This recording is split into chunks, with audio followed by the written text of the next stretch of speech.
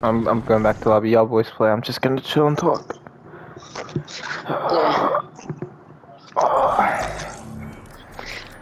So what exactly is Oppenheimer about?